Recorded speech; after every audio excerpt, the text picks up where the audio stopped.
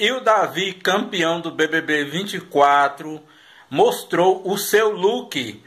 Vamos ver ele se preparando aí para o Festival de Parintins. O homem foi estiloso, hein?